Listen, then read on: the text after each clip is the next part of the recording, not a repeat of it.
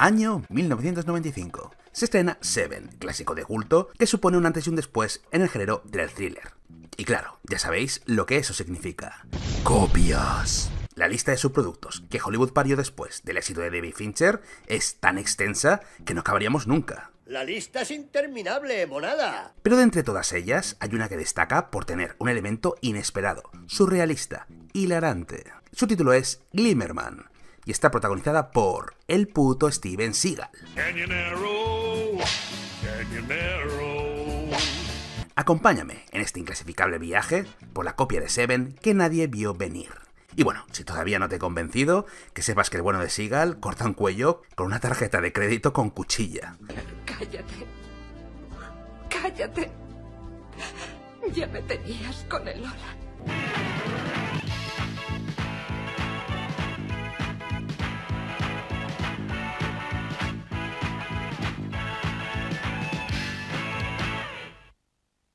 The Glimmer Man, titulada en España Glimmer Man, a secas.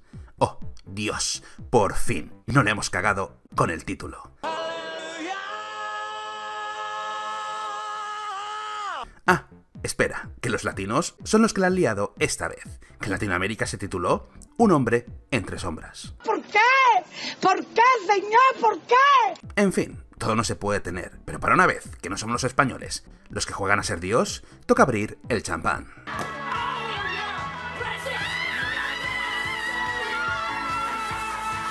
El thriller se estrenó en 1996, siendo masacrado sin piedad por la crítica, ignorado por el público, ya que costó unos nada desdeñables 45 millones de dólares, recaudando 20 mundiales.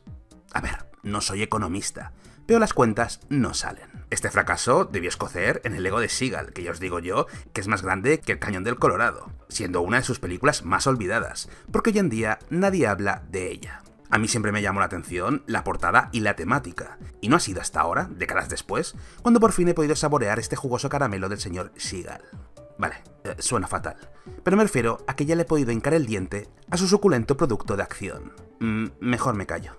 Y bien, ¿qué me ha parecido Glimmerman? La copia de baratillo del amigo Steven del clásico con Brad Pitt. Pues me esperaba el apocalipsis. Y... joder, lo reconozco, me lo he pasado teta pero con matices. Y para poder hablar con claridad, tengo que revelar algunos detalles de la trama, porque no todo es lo que parece. Por lo tanto, si todavía no lo has visto y tienes intención de hacerlo, te invito a que des like, te suscribas, te retires y vuelvas cuando lo hayas hecho, pero que sepas que no está en ninguna plataforma. Y si la tienen, debes pagar por ella. Así que ya sabes lo que toca, my friend. Arrasa con lo que veas y generoso no seas. Ahora sí, entramos en materia con algunos spoilers necesarios para explicar el por qué no estamos ante lo que parece. Sí, la película se nos presenta como un thriller con asesino en serie que, atención, mata a sus víctimas crucificándolas como a Jesucristo. En otro psicópata con traumas eclesiásticos. ¿Oís eso? Es la originalidad llamando a la puerta. Bravo, Hollywood. Bravo. Sobra decir que de las intenciones de ser una nueva Seven, que tenía unos asesinatos exquisitamente escenificados, a esto hay mil putas millas de distancia. Pero ojo, porque por detrás hay una subtrama de corrupción. Diría que con un villano en la sombra. Pero en cuanto aparece Bob, siempre hago de malo, Gunton, sabes que algo huele a podrido en Dinamarca. Y es que ahí está la clave, en que a la mitad de la película se desvela quién es el asesino en serie, un don nadie que dura menos que un pollo en el Kentucky, y cuyos crímenes estaban siendo utilizados por los auténticos villanos para encubrir sus fechorías. Que a ver, digo yo que habrá otras formas de escurrir el bulto. Y revelándose que la película no es un thriller de suspense, es... redoble de tambor otra película de acción de Steven Seagal.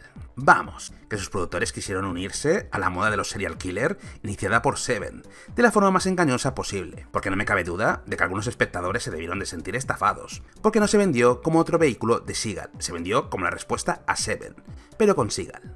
He ahí la diferencia. Me la has pegado, Hollywood, me la has pegado. Y no será la primera ni tampoco la última. Pillines. Pero ¿sabéis qué es lo mejor de todo? Que cuando la cinta se quita esa losa del asesino religioso y se centra en lo que siempre debió ser, es decir, una cinta de acción con Steven Seagal, estamos ante una cinta entretenida y disfrutable si sabes a lo que vienes, es decir, otra mamarrachada del señor Seagal. Porque ver al coletas soltar un discurso contra la violencia, ya que por la película pasea un rollo zen que no se cree ni él, para después cortar un cuello con una tarjeta de crédito es algo que no se olvida. Esta es mi mierda. Sí, objetivamente es mala, pero también una buena película de Steven Seagal, en una paradoja capaz de desbaratar las leyes cuánticas y acabar con el universo. Pero oye, y el buen rato que pasas con los disparates que se presentan. Un placer culpable de los que ya no se hacen, y encima con escenas de acción resultonas y que harían palidecer a la mediocridad de las películas de acción de hoy en día, donde todo es digital y parece un videoclip. Pero esa es otra historia. Y sí, Steven Seagal es una persona horrible, un ser inmundo, una pústula nauseabunda, un engendro del mal, y encima mal actor. Pero me debo a la verdad, que no es otra que aquí está entregado y divertido, notándose que se lo pasó pirata, no limitándose a poner la cara de ladrillo como el 90% de su filmografía, y soltando chascarrillos y cortes a diestro y siniestro, ingrediente básico en toda buena buddy movie que se precie. Vamos, que cumplen su rol protagónico, el cual se nos presenta como un detective de homicidios disfrazado de monje y que suelta sermones budistas para luego rajarte la garganta con una puta tarjeta de crédito. ¿Tiene lógica? No. ¿Es tan desternillante que se convierte automáticamente en genialidad? Por supuesto. Y sí, Seagal hace de Seagal, y obviamente tuvo la última palabra aunque su carrera estuviese exhalando su último aliento, y de ahí el diseño de vestuario más cuestionable de la historia del cine. ¿Quién cojones viste así en su horario laboral? Y encima de poli. Y ya que estamos con las críticas, la historia sucede en Los Ángeles, y os juro, por lo más sagrado, que la ciudad jamás lució tan fea como si en vez de rodar en Hollywood hubiesen rodado en Detroit. La magia del cine. Pero bueno, es obvio que el director quiso darle un toque siniestro a la cinta. Y una vez confirmado que no estamos ante un thriller de asesinos en serie, sino ante una cinta de acción de las de toda la vida, pues no sé, a lo mejor no se leyó el guion. Sabiendo cómo se las gastan por Hollywood, me lo creo. Y como compañero de aventuras de Seagal, tenemos a un Wayans. No, no es Damon, ni Marlon, ni Sean, ni Damon Jr. Joder, ¿Cuántos son? Parecen los putos Baldwin. El caso es el que queda, Kenan Ivory. ¿Pero usted quién es? ¿De Lo sé, os habéis quedado igual. Normal, es el Wayans menos conocido, más habituado a la dirección que a la actuación, dirigiendo comedias como Scary Movie o Dos rubias de pelo en pecho. Se ve que Damon y Marlon estaban ocupados y ficharon al bono de Kenan, que al final del día cumple como improbable compañero de Seagal, todo el día cabreado y gritando. Estereotipos, ¿sois vosotros? Pero eh, estamos ante una pareja tan imposible como curiosa, y al final del día funcionan, por lo que compro. Y no me quiero olvidar del gran Brian Cox, un actor al que chirría ver en una película semejante, pero que se entregó a la causa, siendo perfectamente consciente del producto en el que está.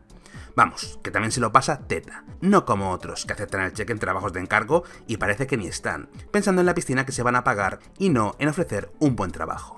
Ole tú, Brian, porque tú sí sabes lo que es ser un actor como Dios manda. Lo reconozco, me esperaba un trozo de estiércol y dimensiones bíblicas, y al final me he encontrado con un thriller de acción la mar de majo y entretenido, que da lo que promete si sabes a lo que vienes.